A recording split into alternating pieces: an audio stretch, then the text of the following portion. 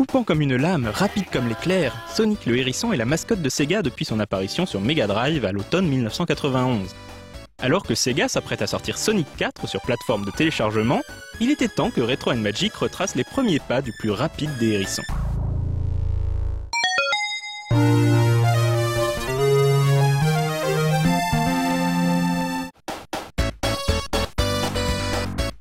Sonic est né lors d'un concours interne à Sega visant à créer une nouvelle mascotte pour la société. C'est le personnage créé par le game designer Hirokazu Yasuhara, le programmeur Nakayuji et le dessinateur Ooshima Naoto qui sera retenu.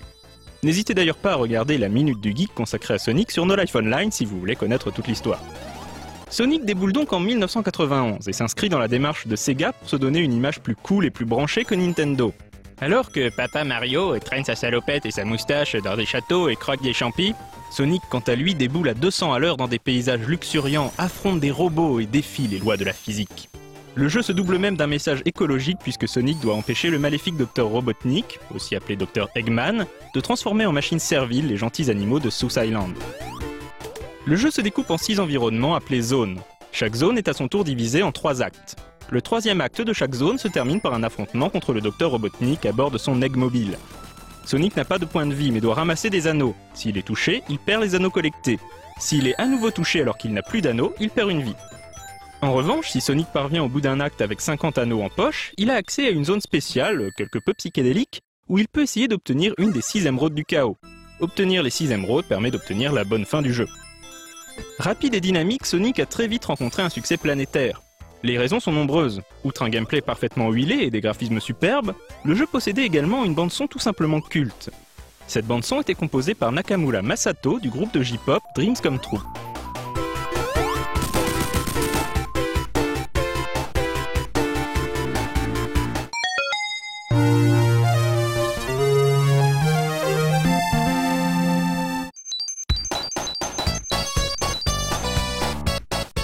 Sonic reprend du service un an plus tard dans Sonic 2, développé par Nakayuji et Hirokazu Yasuhara au sein du Sega Technical Institute basé à San Francisco.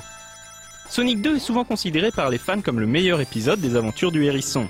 Le jeu comporte quelques différences notables avec son aîné. La première, c'est l'inclusion d'un deuxième personnage, le renard Miles Per Hour, alias Tails en raison de ses deux queues. L'arrivée de Tails permet à Sonic 2 d'offrir un mode 2 joueurs en écran splitté, pas hyper réussi mais qui a au moins le mérite d'exister. La structure du jeu a également changé. Les zones ne comptent plus que deux actes, mais en contrepartie elles sont plus nombreuses, permettant une grande variété d'environnements. Sonic doit toujours contrecarrer les plans de domination de Robotnik qui s'est doté d'une station spatiale de combat baptisée le Death Egg. Évidemment, c'est une parodie de Star Wars. Les émeraudes du chaos sont désormais 7 et permettent à Sonic de se transformer en Super Sonic.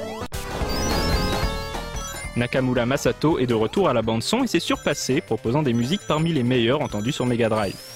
Tous ces facteurs ont contribué à donner une aura épique à Sonic 2.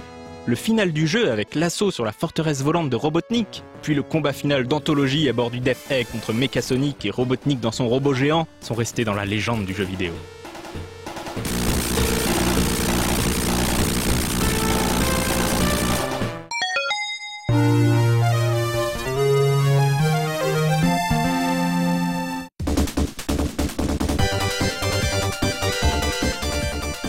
Le Sega Technical Institute récidive et propose Sonic 3.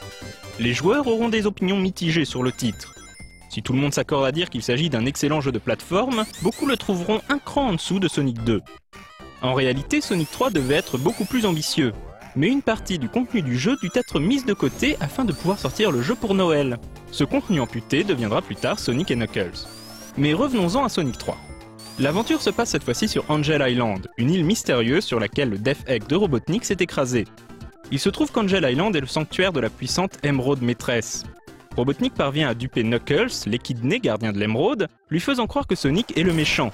Knuckles tombe dans le panneau, alors que la ruse de Robotnik était visible comme l'équidné au milieu de la figure. Bref, pendant que Sonic et Knuckles sont occupés à s'affronter, Robotnik espère bien remettre en état son Death Egg et reprendre sa conquête du monde. Sonic 3 propose quelques nouveautés comme des boucliers de feu ou d'électricité qui protègent le hérisson contre un certain type de danger.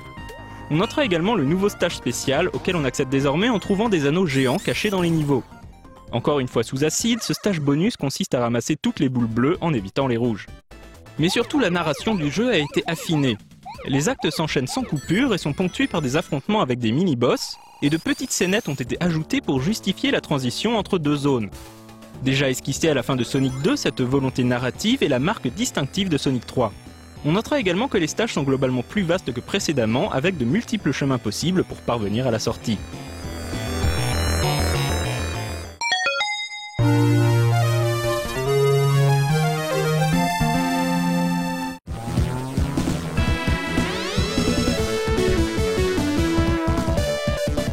Knuckles reprend là où Sonic 3 s'était arrêté avec un gameplay totalement identique. Et pour cause, Sonic Knuckles n'est ni plus ni moins qu'une sorte d'add-on standalone de Sonic 3. Robotnik cherche à s'emparer de l'émeraude maîtresse pour fournir l'énergie à son Death Egg, et Sonic et Knuckles sont forcés de faire une trêve pour l'arrêter.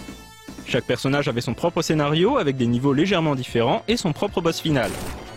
Knuckles pouvait planer et escalader les murs, ce qui permettait également d'atteindre des zones inaccessibles pour Sonic. La cartouche de Sonic Knuckles proposait un système unique en son genre baptisé Lock-On, qui permettait de connecter ensemble les cartouches de Sonic 3 et Sonic Knuckles pour former Sonic 3 et Knuckles. Avec pas moins de 13 zones à explorer, les fans avaient enfin leur vrai successeur à Sonic 2. Si Sonic 2 était épique, Sonic 3 et Knuckles est quant à lui carrément légendaire.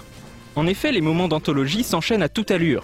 Difficile d'oublier le combat de Sonic contre Knuckles dans le Hidden Palace, ou le magnifique niveau du Sanctuaire Céleste, hommage des otaku de Sega au château dans le ciel de Miyazaki Hayao. Le jeu s'achève en apothéose à bord du Death Egg, une zone complètement folle où le danger est omniprésent et où la gravité s'inverse en permanence. Et cette fois-ci, le joueur assez courageux pour se mettre en quête des 7 émeraudes aura droit à un ultime boss de fin. Cet affrontement final, baptisé Doomsday, est tout simplement l'un des plus incroyables combats finaux de l'histoire du jeu vidéo. Rien que ça.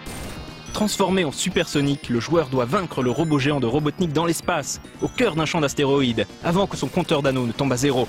Sega tentera par la suite de retrouver le souffle épique de ce combat dans les boss finaux des jeux Sonic qui suivront, mais n'arrivera jamais complètement à renouveler le miracle. Enfin, il faut noter qu'il est possible également de connecter Sonic Knuckles à Sonic 2 afin de refaire le jeu dans la peau de l'équidné bagarreur, et on peut également connecter Sonic 1, mais dans ce cas-là, on doit se contenter de quelques centaines de stages spéciaux.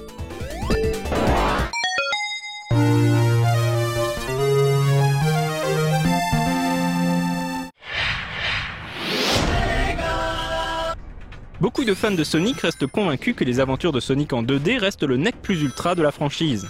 En proposant un Sonic 4 Retour aux sources, qui se déroulera juste après la fin de Sonic Knuckles, Sega espère bien leur prouver qu'il est toujours capable de faire revivre la magie de son âge d'or.